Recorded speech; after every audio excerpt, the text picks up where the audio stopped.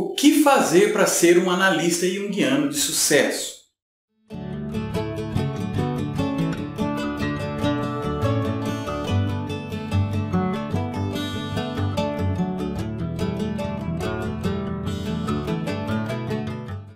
Essa foi uma das perguntas que me mandaram no Jung na Prática ao longo desses anos. E é muito difícil responder a isso porque, na verdade, o que é sucesso? O que é ser um analista junguiano?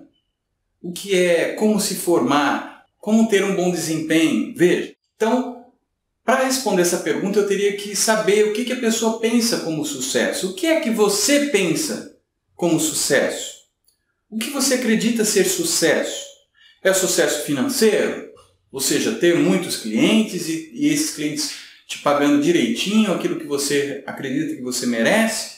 Ou ter sucesso é você conseguir executar bem as técnicas que o Jung coloca, como por exemplo a imaginação ativa, como por exemplo os aspectos expressivos, as técnicas expressivas, ou análise de sonhos.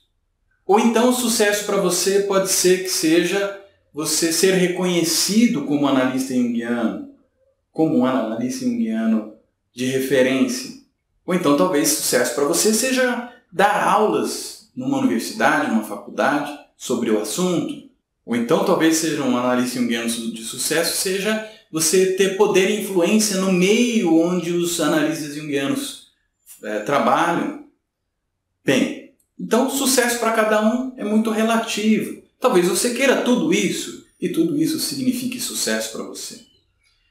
E talvez sucesso para você seja você conseguir ajudar e contribuir com o seu cliente, com o seu paciente na medida em que ele te procura. Ou seja, que você consiga ter uma, uma, uma boa é, performance enquanto profissional, enquanto terapeuta, enquanto psicoterapeuta, analista. Mas o que eu preciso dizer para você é o seguinte, que antes de tudo isso, é preciso que você entenda o que é ser um analista junguiano. E o que é ser um terapeuta junguiano? O que é ser um especialista em psicologia junguiana? E o que é ser um estudioso né, da, da psicologia junguiana? São coisas diferentes. Para que você faça, para que você estude Jung, é só você comprar um livro. Compre um livro e estuda. E você vai estudando, estudando, estudando. Com o tempo você vai ficar conhecedor da teoria junguiana. E você pode aplicar isso na área em que você trabalha, em qualquer área. E se você quiser ter um respaldo do MEC, por exemplo, um certificado, isso tudo para que você aumente o seu currículo, então você deverá fazer uma especialização em psicologia junguiana. Uma das, uma das instituições que a gente indica é a FACES, em São Paulo, é a Faculdade de Ciências da Saúde. E tem outras, claro. E Lá no site do Jung na Prática tem um artigo falando sobre especialização em psicologia junguiana, você pode procurar lá, tem todas as indicações sobre isso. Agora, se você quiser se tornar um analista junguiano, analista, então você deverá ingressar numa formação em análise junguiana e que existem várias instituições também que oferecem isso, mas isso não tem o respaldo do MEC, e sim do próprio Instituto Junguiano de Zurique. Quais as diferenças de tudo isso? Bom, as diferenças é que se você estudar por conta própria, você vai ter o conhecimento, mas você, você não pode atender, você não tem um respaldo do MEC, você não pode dizer que você é um terapeuta, nada disso. A não ser que você seja já psicólogo, por exemplo, né, ou um psicanalista, enfim, que já tem, a, já tem pela instituição que você se credenciou o respaldo para poder realizar atendimentos. Aí você pode atender e pode usar a teoria junguiana como um viés da sua prática. Assim também é com a especialização. Então você vai fazer especialização e muita gente tem dúvida e fala assim: ah, mas eu posso atender como ah, terapeuta junguiano, como psicoterapeuta junguiano, e aí as nomenclaturas se misturam.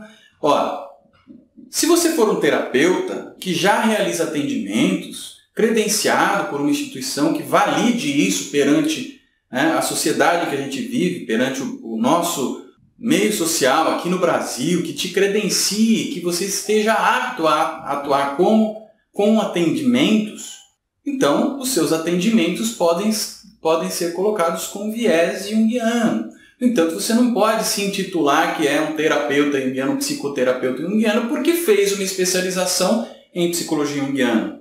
A não ser que a instituição que ofereceu a psicologia junguiana, a especialização em psicologia junguiana, ou psicologia analítica, tanto faz o nome, se ela ofereceu um certificado válido para os atendimentos, para que você se torne um clínico, para que você se torne alguém que pode atender em clínica. Caso contrário, não.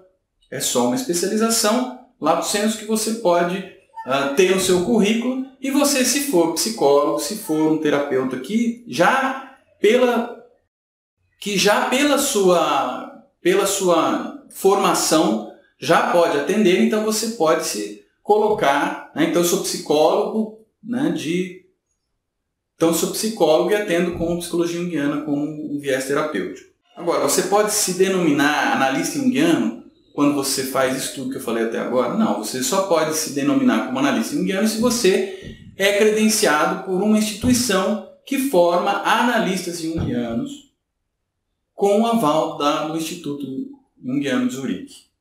E aí, isso é uma formação, quatro anos, não é, não tem o aval do MEC necessariamente, mas isso te permite que você se intitule como analista junguiano, ok? E todas as instituições, pelo menos que eu conheço, exigem, neste caso, que você tenha, que você seja da área da saúde, ou seja, você seja psicólogo ou médico ou de alguma outra área que seja da saúde para poder realizar sua formação.